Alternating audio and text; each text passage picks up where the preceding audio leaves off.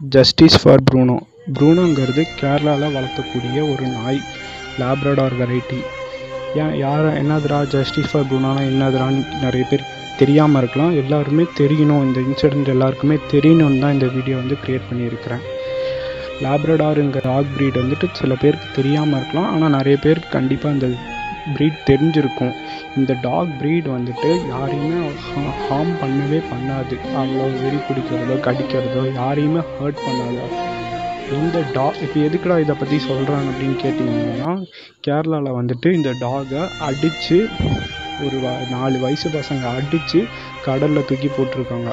எதுக்கு அடிச்சிருக்காங்க எதுக்கு இப்படி பண்ணியிருக்காங்கன்னு கேட்டால் அந்த டாக் வந்துட்டு அவங்களோட போட்டு பக்கத்தில் இருந்துட்டு இருக்காமா. அது வந்து அவங்களுக்கு டிஸ்டர்பாக இருந்திருக்காங்க வந்துட்டு அடித்து கடலில் தூக்கி போட்டாங்க. இந்த ஒரு ரீசனுக்காக அவங்க ஃபேமிலி அதாவது அந்த டாகோட ஓனர் ஓனர் ஃபேமிலி வந்துட்டு இது தப்பு இப்படி பண்ணியிருக்கக்கூடாது என்னதான் இருந்தாலும் நீங்கள் இப்படி இவ்வளோ ஹர்ட் பண்ணிட்டு இப்படி பண்ணியிருக்கக்கூடாது டாக்ஸை இது தப்புன்ட்டு போலீஸ் ஸ்டேஷனில் கம்ப்ளைண்ட் கொடுத்துருக்காங்க.